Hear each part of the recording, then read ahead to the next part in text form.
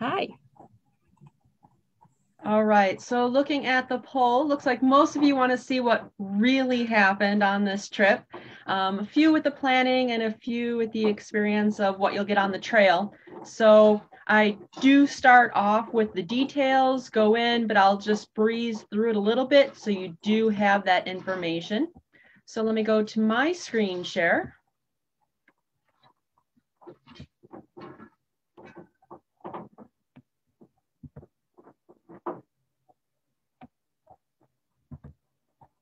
All right, so we have Mount Rainier best laid plans and welcome again everyone. I do also have the chat feature up in the corner of my screen.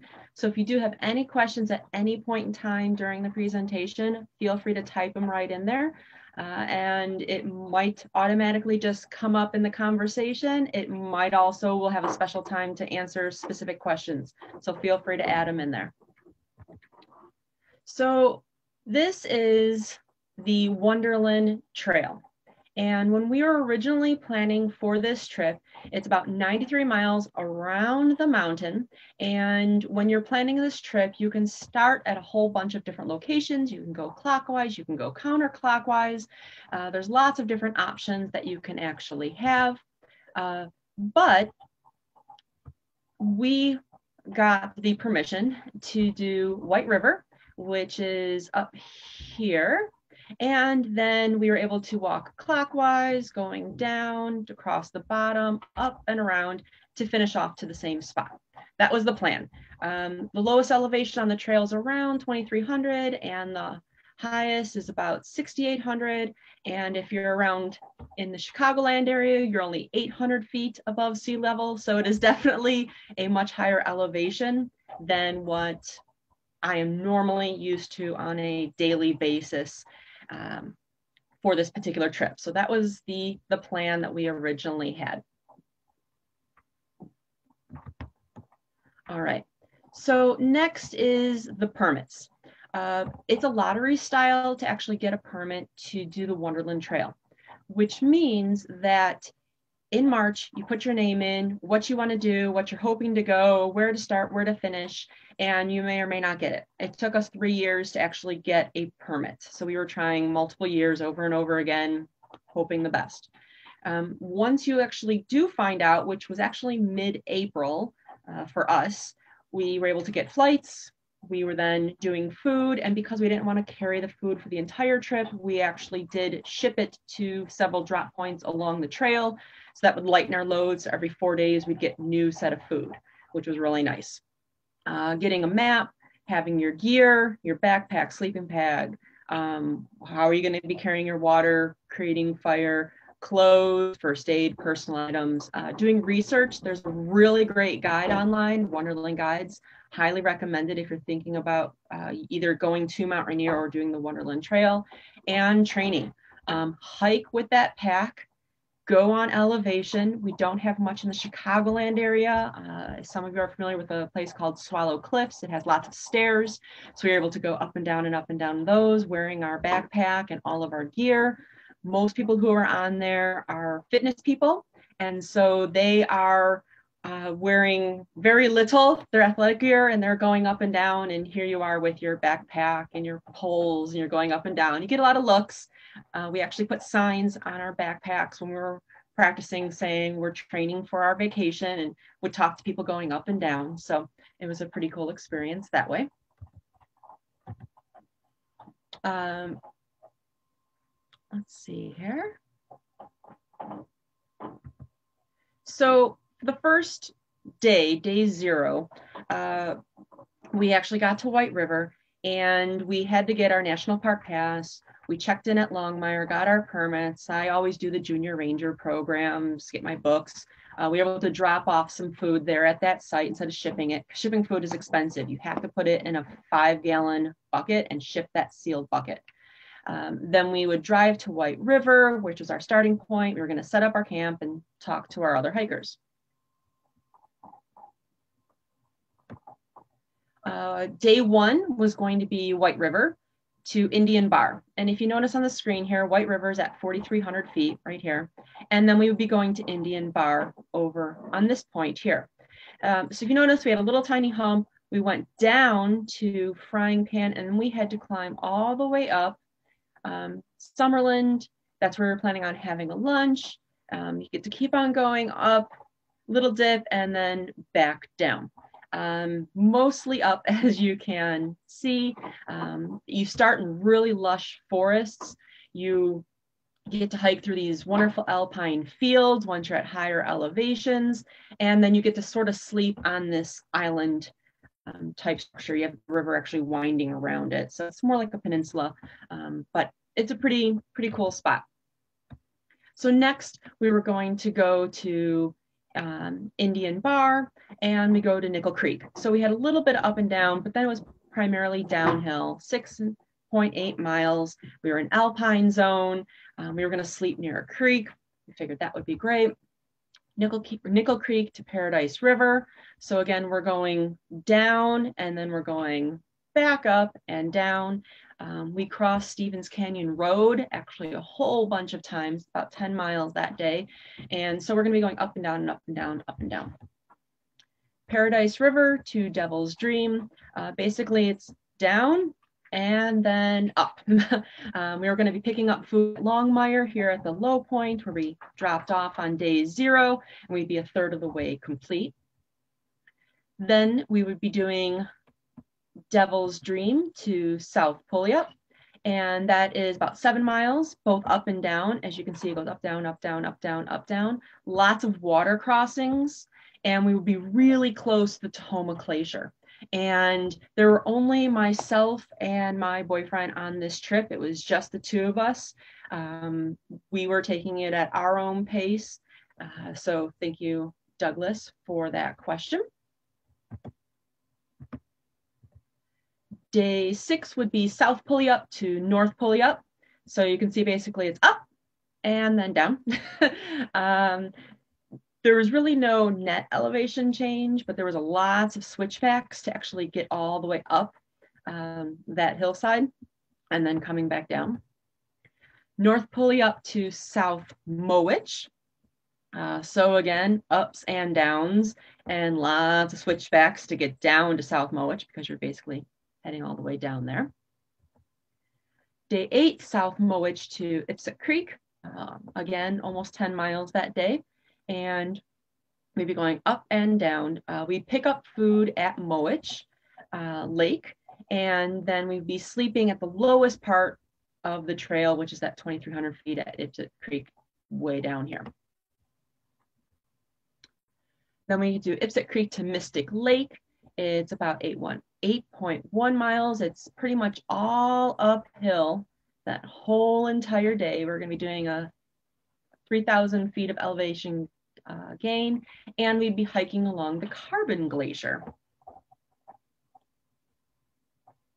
So then we had Mystic Lake uh, Sunrise Camp, and so we'd be going up and down. Again, we end up around the, the same elevation. And then lastly to Sunrise Camp to White River, where we started from, get back to the car. And we'd be flying out the day after this. So we were hoping to get a hotel or something, uh, Airbnb. Who knows what we were planning on doing to freshen up before we got on the, the, the flight because we knew we'd be basically wearing the same clothes for the, the 11 days that we were out there. Now, how long did we train for this? We basically started training for this particular trip shortly after we found out we were we got permits. So again, that's mid-April, and this went. Uh, I believe we were in July, so we had a few months to train, which isn't really that long of a time period, especially when you're working a full-time job. You have other things that you're trying to do. Um, so it's basically weekend warrior stuff. Um, on an average weekend, walking 10 miles uh, on flat land through the forest preserves, not a problem. Used to it all the time. Um, even the dogs go out with us and enjoy it. But having the gear and knowing that we had lots of elevation change was that was the big thing was trying to get up and down elevation the chicagoland area is pretty tricky so because we were leaving on saturday from chicagoland they didn't have us start until Tuesday, just because that's when we can get our permit. So before we hiked, we hiked. Uh, we actually went to Mount Tahoma and got a yurt and hiked there. And if you notice, there is a pretty bloody, scraped up knee there. Um, the trails on Tahoma Mount here uh, are all basically crushed pumice and lava stone. And so there was a slight slippage and knee first down into the rocks, slicing it up. Uh, this didn't really heal and stop bleeding until we got back to Chicago the two weeks later. So we already had a, a slight strike against us with an injured knee that would not stop bleeding completely.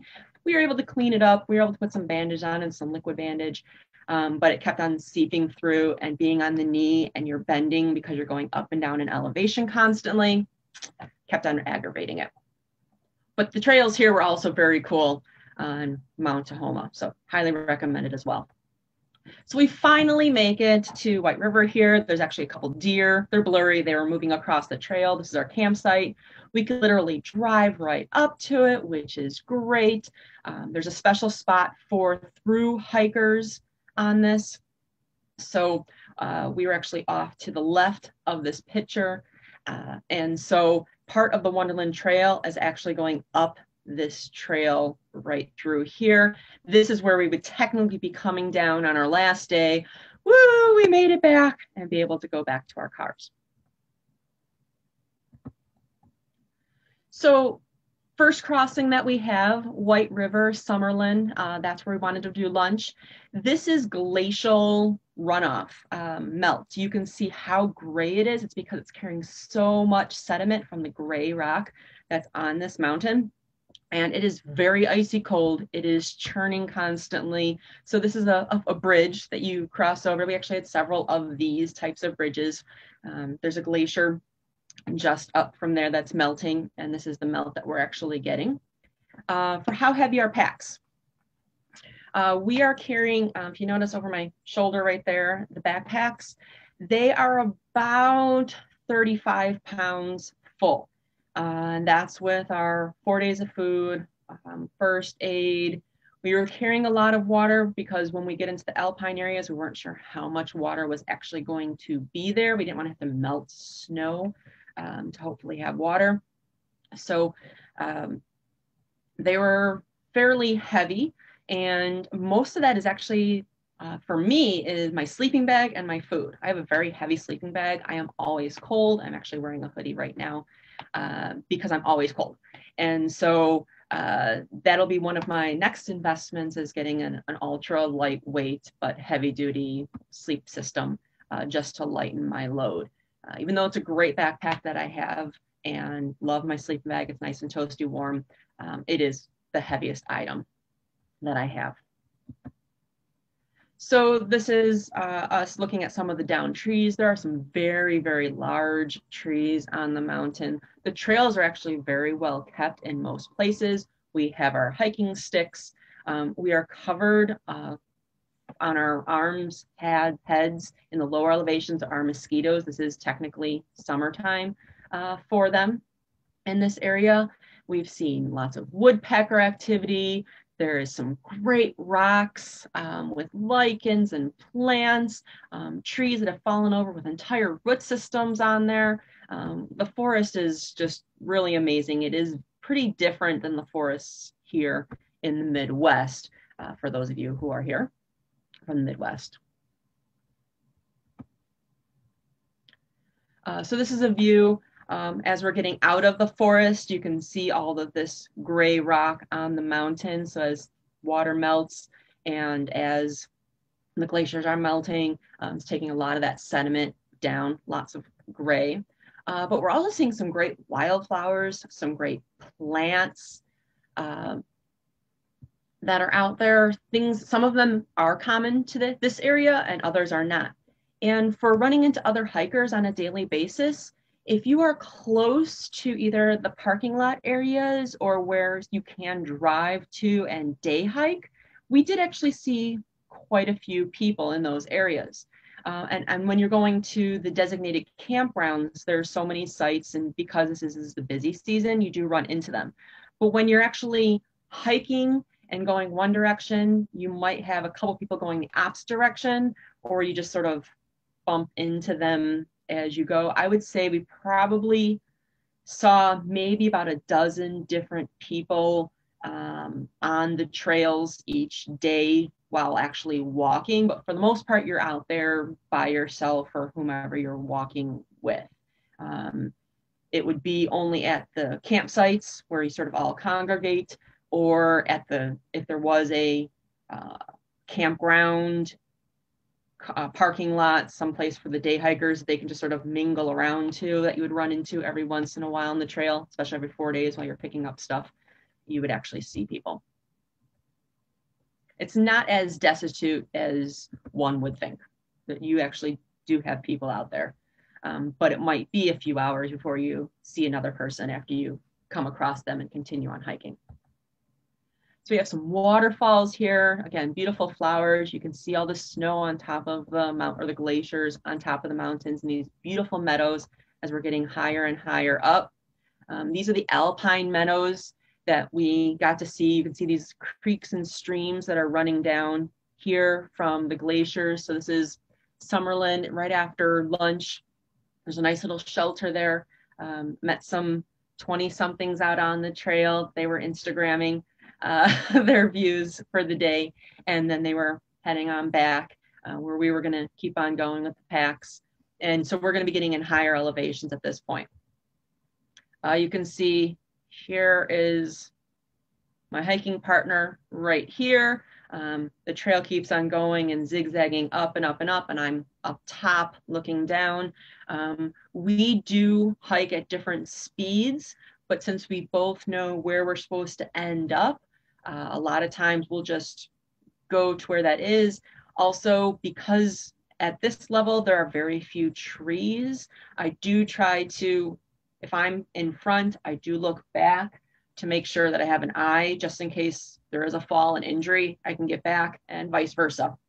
Um, if he is in front, he will also double check and stop every once in a while to make sure we have visual um, and if there is around a curve or something like that, then we do try to get a, a vocalization or an audio, audio clue to make sure that we're, we're still okay.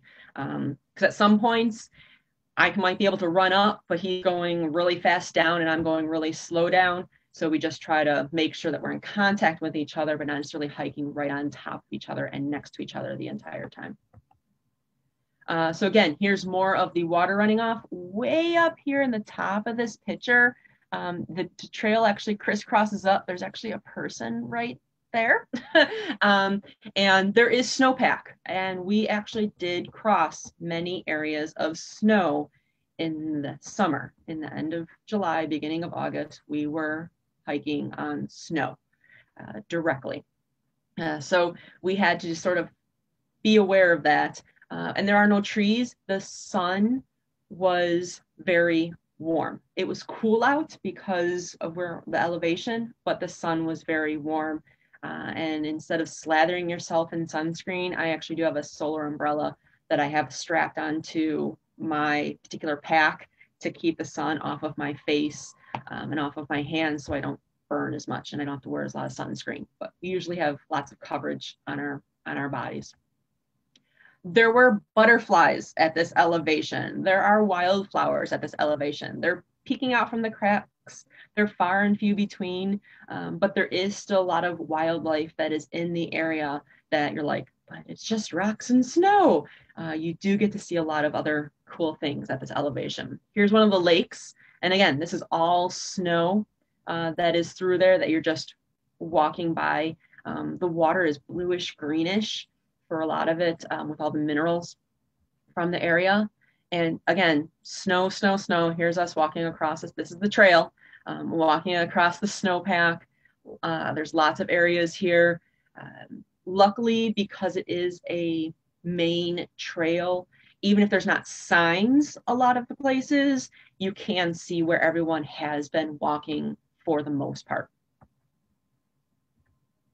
Uh, we did see marmot That's a marmot there. Again, alpine level. We also did see a pika. Couldn't get a good photo of them. Um, lots of mosses at this area, a few little grasses as well. Uh, again, beautiful. It, we have blue skies. Again, very sunny while we were up here. We have these nice little fields, the trail that's going by. We really did enjoy it. Uh, more trails. This white plant right here is called beer, uh, bear grass. Uh, and then we did see mountain goats, and there was a whole herd of them. And they were right like across the path, walking across, and we sort of had to just wait for them to go across. Uh, wildlife obviously gets the right of way whenever you're out there.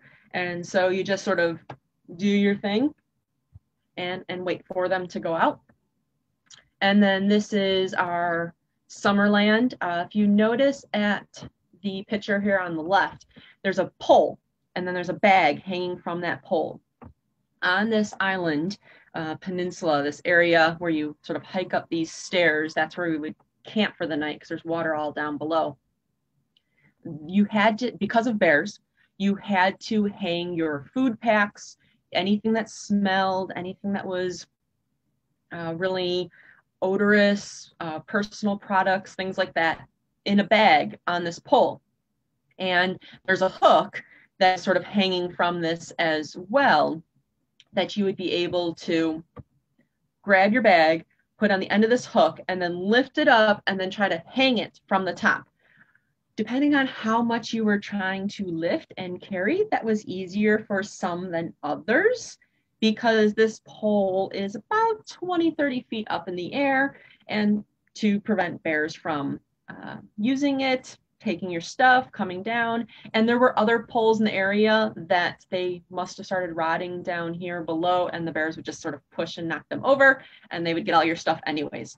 Uh, so we did not have any bear problem. You are not required to have bear canisters, um, but you do have to hang your food or um, either using the poles that are provided at areas or have a separate bag where you're actually putting everything in and using a rope to loop it over or um, to be able to there's sometimes some bear boxes you can put stuff in. But you are not required to have bear canisters but you definitely did want to be aware of what was going on, as well as um, in some of the sheltery types of areas, like over at Summerland, um, you would actually have more chipmunks and small little rodents that were trying to get into your stuff that could nibble through a lot of things. Um, so you had to be aware of that as well, not just the big critters, but the little critters as well. So here is the bridge that we had to walk over from the island where we slept um, because this is a waterfall actually right here going down. And so the trail actually continues up this little mountain area. And beautiful scenery. Again, we're in alpine areas, up and down, up and down, lots of bear grass. Uh, this is the path through the meadow here. See all this blue lupine all over the place. It's a pretty narrow path, but you're just sort of going on through it. And we actually did see bear uh, while we were out there. This is bear scat. Um, we knew that they were close by seeing very fresh scat. When we went around the corner from where this scat was, that's where the bears were. Uh, and so you just sort of let them pass. And then as you do see hikers going either direction, uh, you let them know or they let you know what they've seen in wildlife and things like that. But in the grasses, there were mushrooms and flowers. Um, do you need a permit for a day hike? You will need to get, if you're going in the back country, um, they do want to know that you're actually out there.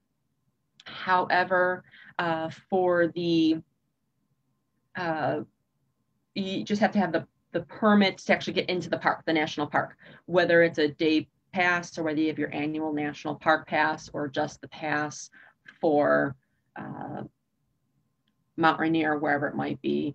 Um, and so it was, let's see here, for the week, it was $55 for the week for the national park. And since we were going to be there longer than a week, we did the annual membership. So that was all national parks for the whole entire year is $80. So we figured if we were going to go to any other national park, um, we would have that pass and we'd be able to to go and anywhere we wanted for the whole entire year. Uh, the permit, excuse me, the permit itself for the Wonderland Trail was twenty dollars when you went online, and whether you got the okay or not, uh, it was twenty dollars. It's non-refundable to put in the lottery to do the Wonderland Trail. So. Uh,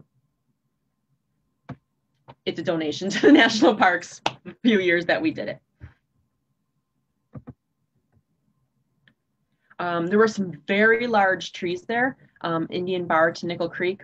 And as you can see, I mean, the bark on this evergreen versus the bark on this other evergreen, very different. So even though you're like, oh yeah, pine trees, oh, they're evergreen trees, if you really like stop and look around and not just try to pump through it, but to really see what is there, the diversity and the amount of different things that you know you, you don't even normally notice really do stand out, especially in this type of environment.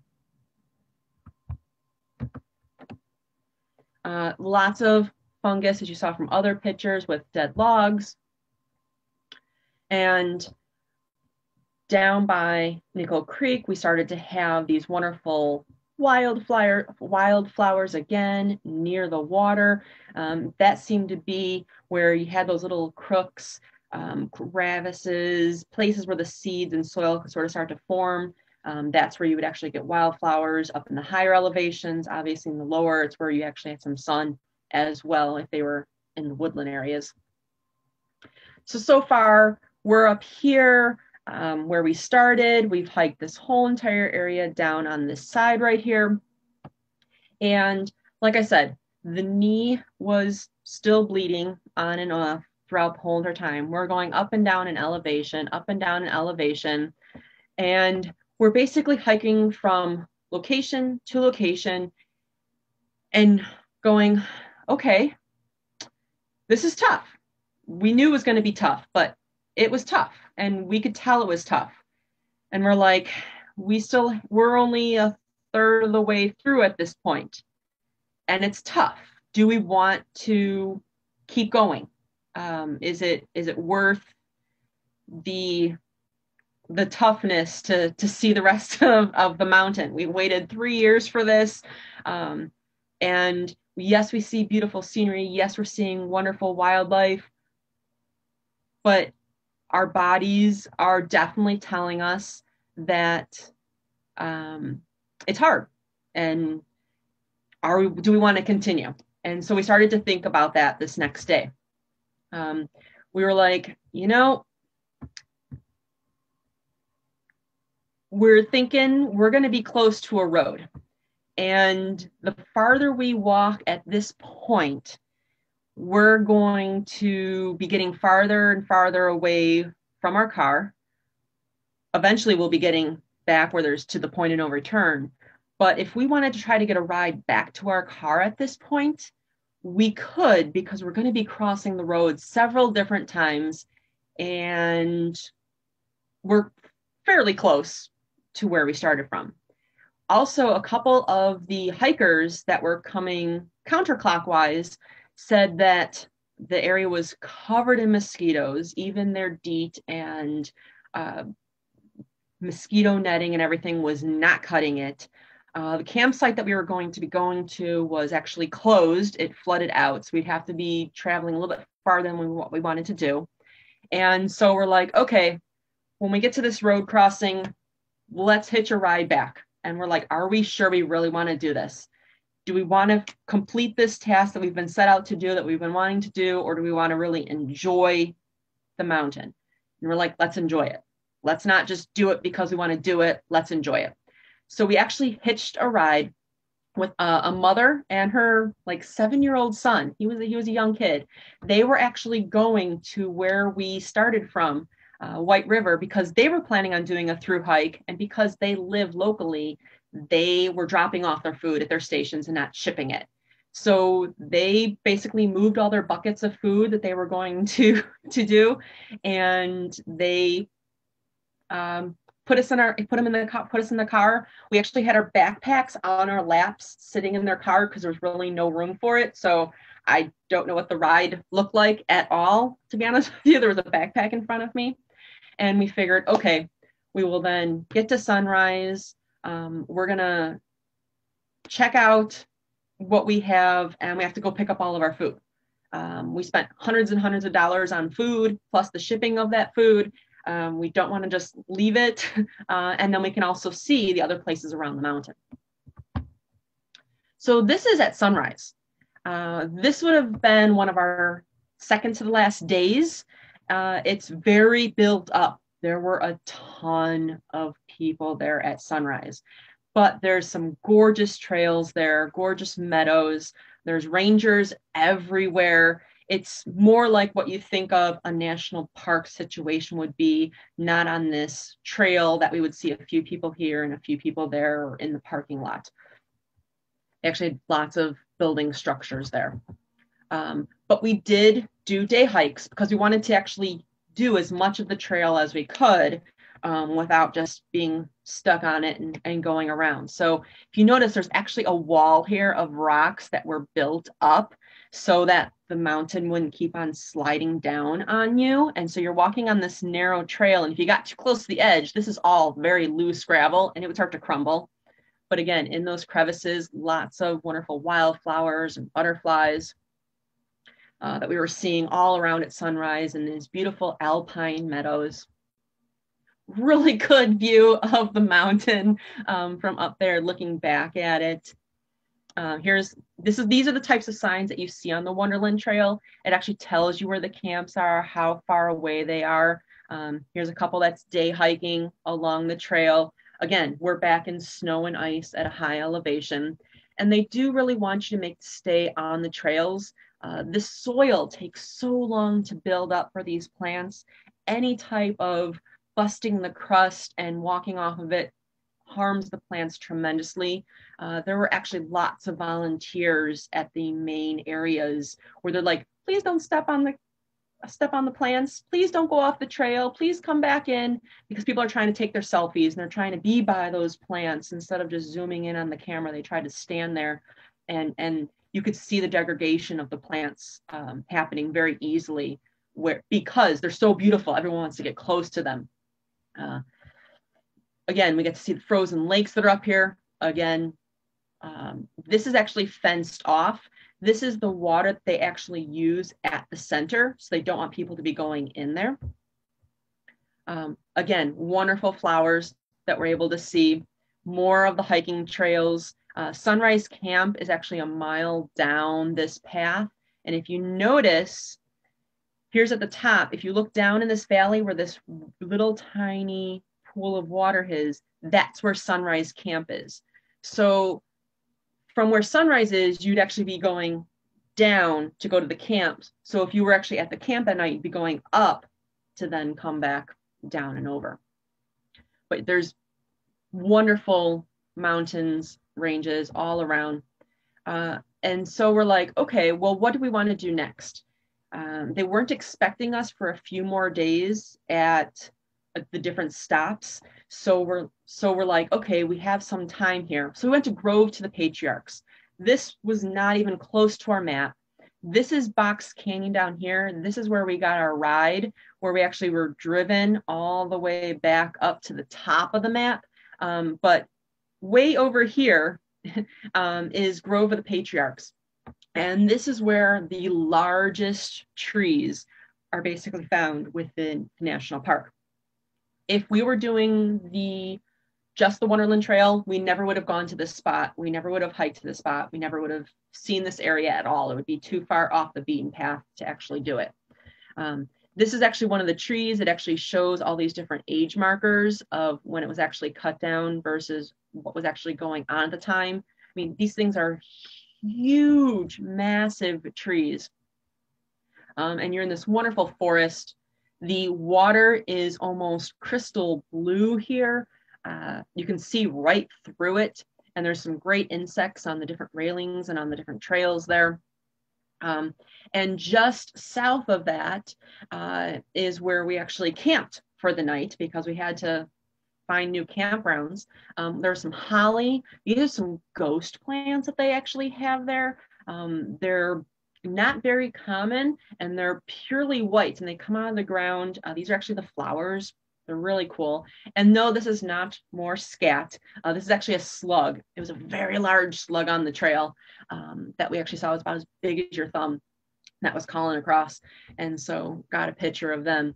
Uh, very lush area here, lots of ferns and butterworts and liverworts and, and ground cover. Again, habitat we would not have seen. We had the pine forests and then we had the alpine meadows, but this area and down below here, they actually had some hot springs. Um, so this water is actually bubbling um, from the hot springs that are in this area. Again, can't go in them. Uh, they are protected, but right off the trail, you can actually see the springs bubbling. And we never would have seen any of this if we would have stuck to our plan.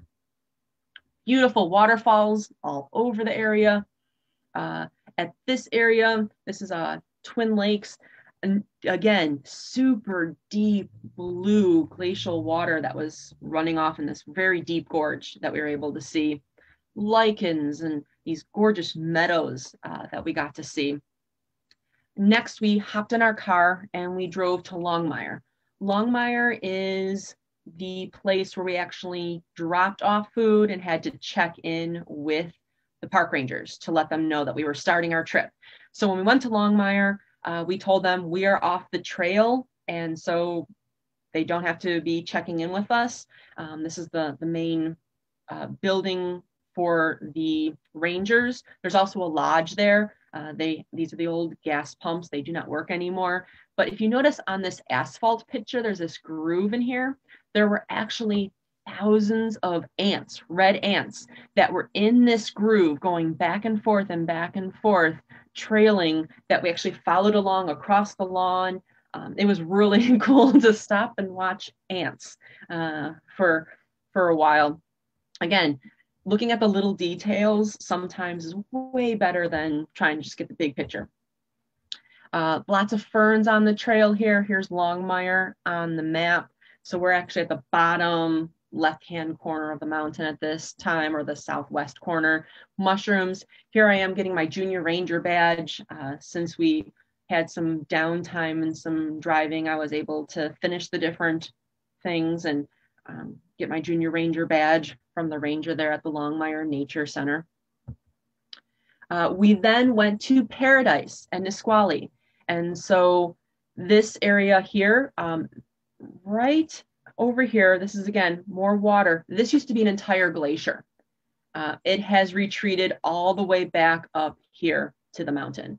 Um, there are photographs of this glacier where you can't even see the bottom of that glacier in this picture because it is so huge. Uh, global warming, climate change has definitely done a doozy on the glaciers here at the park.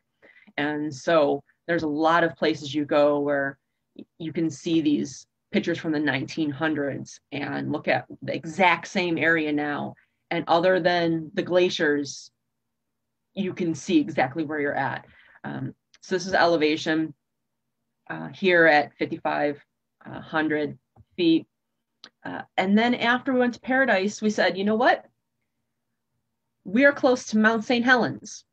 We are old enough to remember when Mount St. Helens went off. We want to go see Mount St. Helens. This is Mount St. Helens. It is still desolate. There is still very little plant life around where it exploded. You can see the actual part where the crater where it exploded the entire mountain off. Um, we went to a ranger program, learned all about. They have a great nature center there to to learn more about it. We were young kids at the time, but I remember when it actually happened, and it's amazing. On, I mean, you see these little tiny wildflowers, but those are huge trees that were just blown over, decimated, gone. That uh, have the area has not come back. You can still see a lot of the down logs. Um, 40 years later. And it's amazing that, again, we never would have seen this if we had stayed on the Wonderland Trail uh, firsthand. We also talked to that woman and son while they while we hitchhiked and they drove us up. And they said that their husband actually worked at the northwest wildlife park.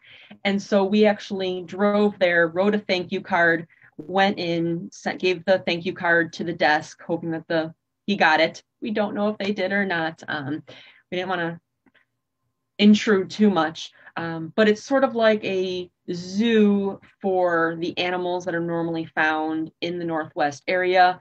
However, all of the habitats are completely natural. It pretty much has just a little bit of screening and fencing to protect the people from the area. Um, but the animals are, are pretty wild, and we actually spent there. Then uh, one of the places that we cached sent food at was Mowich Lake. So we drove back to Mount Rainier and went to Mowich Lake. Now this is on the northwest side of the mountain and look at how crystal clear this water is. This is about 15 feet deep right there. and you can see the logs, you can see the there's uh, the rocks. It is crystal clear at Mowich Lake. There were frogs in there. There were crayfish that we could find.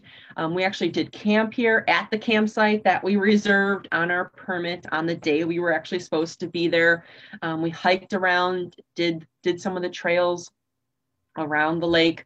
Um, so we're way up here. Um, this is where we actually had to go to pick up our food. So we had access to it. There's a little tiny ranger cabin there. Um, so if we would have walked it, this was the day that we were going to arrive at that spot because they would store your food until you were supposed to be there because you had to write the dates on it. So we couldn't just say, oh, we're off the trail, let's get our stuff. It wouldn't be there. So we had to wait until we were supposed to be there to still go to the same spots. And because the rangers were driving there, we were also able to drive to those locations and then do day hikes in that spot. And you can see here's the trail, um, trees winding around each other as well. Uh, what was really cool that we saw at Mowich Lake that we didn't see at any other place is that the evergreen trees, you can see the growth. Um, this is all new growth from this year, and you can see it on this and on this. So the old growth from previous years, the darker green, and the new growth was lighter green so that you could see actually how well it grew that year in comparison to to other years if you're coming back year after year after year. Um, I've never really seen this on plants before where it was that obvious. And it was really only in Mowich Lake that we noticed this. We didn't see this in a lot of the other areas. And I'm not sure because we didn't have a lot of greenery around us where it was more either alpine or these big giant trees and we were looking up at them and we couldn't see. But this was more mid-sized smaller trees that were around us and everything had this wonderful fresh growth compared to the old growth. Um, a very big surprise um, that was in this area. And Mowich Lake is very hard to get to um, not too many people really go to this side of the mountain. Or the roads are very windy. It's not off of a main path. It's gravelly. Um, it's one way at some point that you have to just sort of pull off and let other cars go by. You're using logging roads, lots of switchbacks. Uh, and so you're sort of driving down. Uh, now it is peak season. So you do have lots of cars that will do their further day hike and then they all drive out um, during the day. But Sunrise has paved roads going to it and it's off the main path as well as Longmire. And when you see those pictures of thousands of people all together on the national parks, that is what that is like. The rest of the park, if you are on some of these trails, um, especially if you're going around on your own, you definitely get away from that. Uh, this was the, the, one of the vantage points looking down into the valleys um, once you hike a few miles out from Mowich Lake itself. Um, this is looking back at, again, the mountain and the, the lake itself. Uh, this was the bridge, Fairfax Bridge. It is only one lane. So if you notice way in the back here, there's this yellow sign, this arrow that says left. Well, this whole entire bridge, only one car can go at a time. So you sort of have to be on the one side of the road or on the other. You sort of try to peer around and look and go, um, do you, any other cars coming? Nope. All right, let's go for it. And hopefully they're going slow enough that when you're getting to this point, because there's a sharp turn to the left, that they sort of stop and are looking as well, because otherwise someone's going to have to back up the entire way across. Um, that was a surprise. Did not did not expect that when we were going out there. Um, but again, this is an area of the trails that um, maybe the locals will go to, but the typical tourist is not going to be going to this area. It takes several hours of driving. Um, again, the roads aren't necessarily paved where you're going as well. Uh, we then decided to go to Puget Sound, and this is Point Defiance Park. And it has a zoo there, an aquarium. We did not do those types of things. It does have a lot of walking paths that are there. Um, I have never been to Puget Sound, and so I wanted to sort of check the area out. This is a, a good place to go. Um, they actually have many manicured gardens with different types of flowers, uh, the zinnias and the rose gardens. Um, it's like going to a botanic gardens. It was amazing. I was taking pictures of so many insects and flowers and bugs. And yes, they're horticultural plants. They're not wild plants, um, but they were still gorgeous uh, and they were still doing the part. And also got to get to the saltwater. And coming from the Chicagoland area, we have the lake, but we do not have seaweeds of all these different varieties. This one looked like flames, and then there was brown, and there was green, and there were barnacles and mussels, and and there was this, these crabs um, down the corner here, these little tiny crabs that were running all over the place, and you just don't get that in the Chicagoland area. It was great to see all this um, aquatic wildlife. We did actually see um, otters in the ocean. We actually got to see some some kelp-like plants in the water, uh, things that you know we've only seen on television or movies. Um, we actually got to see those in real person. Again, never would have happened if we would have stayed on the trail. Uh, on the in the park area, they have these blackberry bushes everywhere, and people are harvesting them. It is open to the public, so we were harvesting blackberries. We usually in the parks are eating some of the plants that we know that are safe. Um, we've had thimbleberries in Acadia. Um, we've had blueberries in Maine. um, but this uh, was blackberries in Washington. And this structure right here had stairs and slides and people would literally be going up the stairs, up the stairs, up the stairs, up the stairs, all the way up this hill, and then sliding down, sliding down, sliding down, and then keep on going back and forth, back and forth. I'm like, oh, it didn't matter if they were a kid, it didn't matter if they were adult. It was so fun um, to be able to go up and down those. This would be a great way of practicing for the Wonderland Trail. Um, unfortunately, the stairs over at um, in in Chicagoland, Swallow Cliffs is probably maybe two, three of these sets at the most. And so you're just walking up and down and up and down. Not nearly as fun as the slides, which I thought was a great idea to get people out. Um, we also went to Nisqually National uh, Wildlife Refuge. And so this is a big map here, again, off Puget Sound. And it was this mud flats. And because of the mussels under the mud flats, you can actually see the water bubbling up from the different types of critters underneath the mussels and you can see the tracks from the different birds and mammals that are walking on these mud flats at low tide versus high tide. This is the boardwalk um, and this whole entire thing floods uh, when there's high tide. This is low tide right now. So you're able to walk all the way out almost out to the sound, which was a really cool area. Um, there's little tiny birds that are trying to get the insects. Some of the water had almost like an iridescent look to it. And so I was able to get Mount St. Helens uh, badges. I got a Citizens Ranger badge from Mount Rainier, which is for the adults. Plus, I got the Junior Ranger badge I got the Nisqually Wildlife Refuge badge, and then the Protect the Fragile Meadows, Stay on the Trails from the volunteer that was um, passing these out. And then we also did stay at a, a, regular state park in Washington. That's little tiny medal. It's one of the tokens uh, for there. So I would have gotten maybe or most likely the Mount Rainier Junior Ranger badge and none of the other educational components if we stayed on the Wonderland Trail uh, because we wouldn't have been able to have time or to actually do them. And so we came for the mountain, but we left seeing the ocean and much, much more. So we have about another five, ten minutes uh, if there is any type of uh, questions that people have. Um, oh, you're in the Seattle area and you like seeing the highlights, able to see uh, stated highlights by a visitor. So I'm glad. well, thank you. Yes, it was very interesting um, being able to, to check out multiple areas. Um, I would have loved to have been able to do the whole entire hike.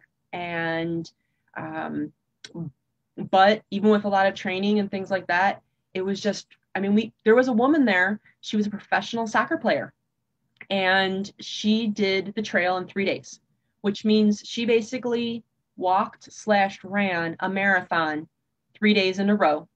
She was living on gels, so those special packages of gel um, for nutrients, and a water bottle that just had a filter on it that she would just dip and then drink right out of. Uh, purification system, yes, definitely purification system.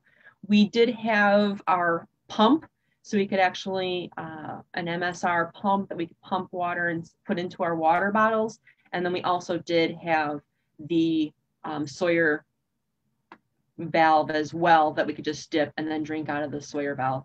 Um, we weren't sure if we were going to have enough water. That's that's always what my fear is that I run out of water. Um, we always have extra food, um, but I wanted to be able to do it. And then we had a CC alum from Montana. All right, yay, Cornell, woohoo! Um, I did see that it got posted on there, uh, so that's that's wonderful. And that sort of started all of my adventures as well. I was able to be a, a student of international training while I was at Cornell and I went down to Texas and canoed the Rio Grande and was able to study in Africa through Cornell. So awesome school. I highly recommend it.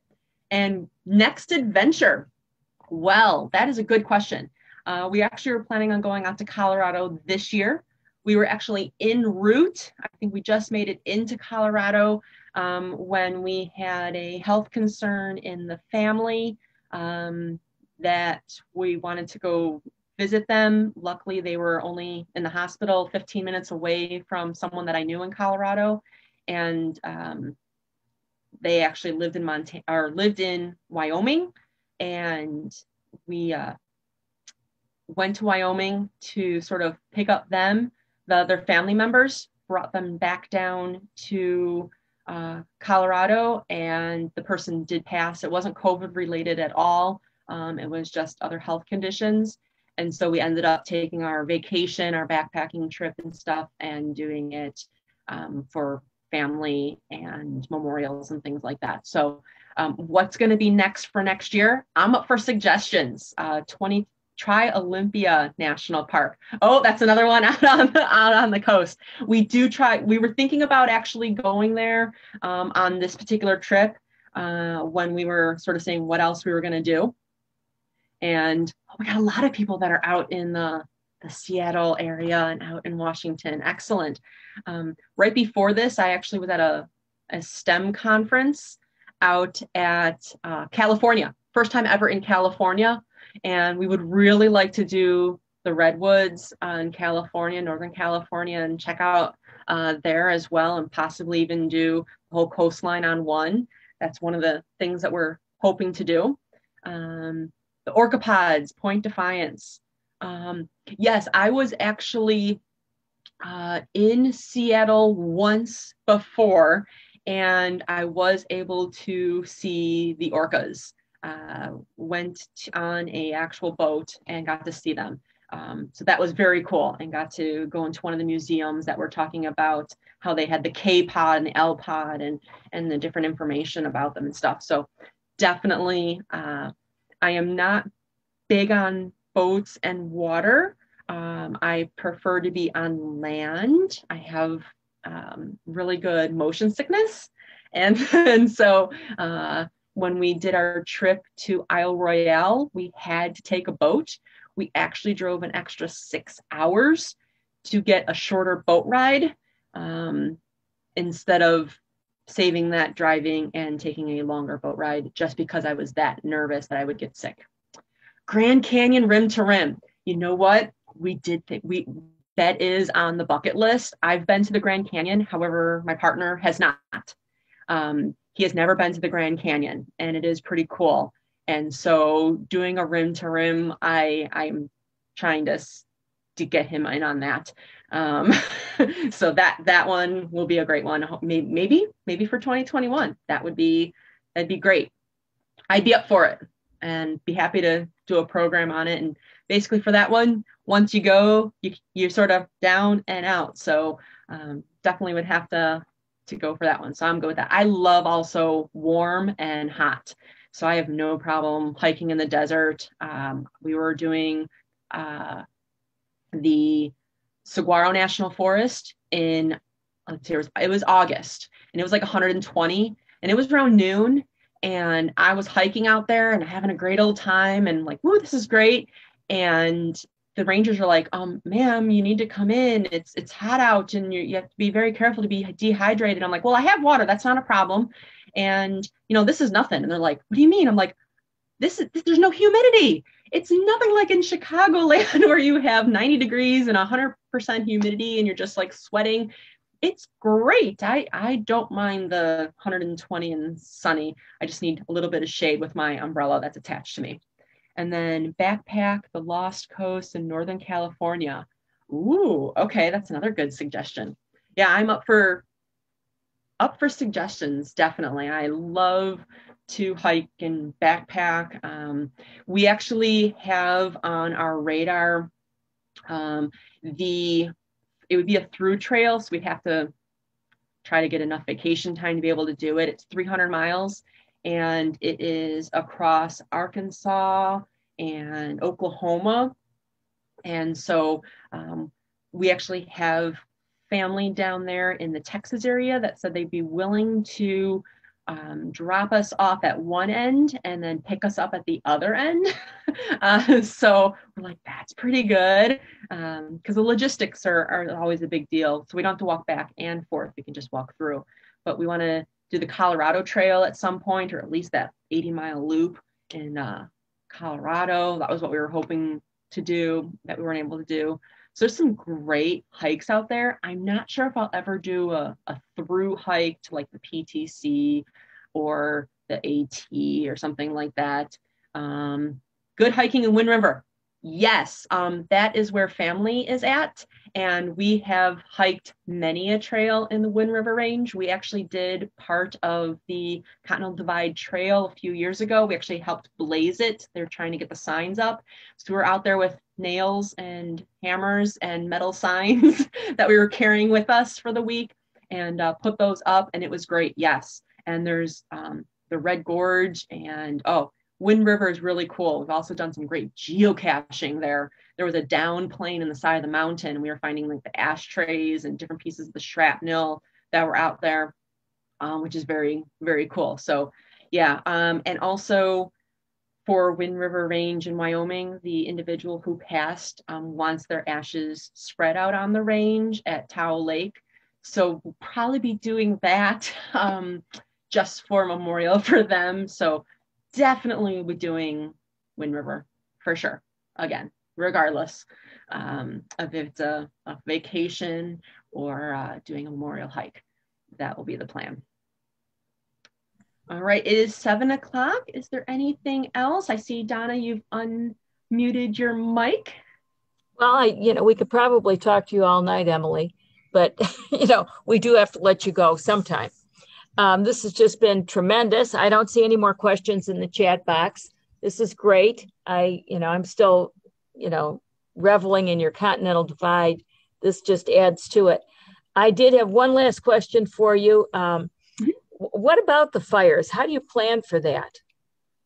The fires out west. You know, you know what you yeah, plan. Uh, um, you your best laid plans, and then that works against you. Yeah. Um. A, a lot of times, because you really don't have signals and coverage, even with cell phones and things like that. Um, if you hear of sparks and things like that, um, you can see the smoke. That's that's for sure. We could actually see the plumes. It was, but you just don't know where or how close you are. Um, and that's the biggest thing is that we were in Fort Collins, which is north of Denver, and the fires were going through there um, you'd actually get like all of a sudden your phone would just start squealing and it'd be like, oh, there's an evac- evacuation alert for this county and this area. And you're like, we're not from here. We don't, are we there? Do uh, like, is it, are we just in that signal in that band? Um, luckily, I, because I do have friends in the area, we were able to contact them and be like, hey, and they're like, oh, no, no, this is, this is a little bit different. This is off the beaten path. Um, but you do have to keep in mind that if you go into the black, like if there's an area that's already been burnt, that is the safest area. Um, so if you are hiking and you, you're coming up with smoke, and I mean, you'll be able to sort of see it on the horizon or if it's coming towards you, things like that. If you can get into an area that's already burnt and already black, um, if there's another coming around on the other side, that's going to be the safest place for you. Wow. What an adventure. Okay, well, Emily, thank you so much for tonight. This was really great. We're ready for the next adventure. We want to be first on the list when you come and talk about it. So I will. Wonderful. Go ahead. Thank you so much, Donna, and thank you for everyone who attended, especially all the Cornell folks. Woohoo! yeah. Go. so thanks, everyone. I hope you all have a pleasant evening. and We'll say good night. Good night. Good night.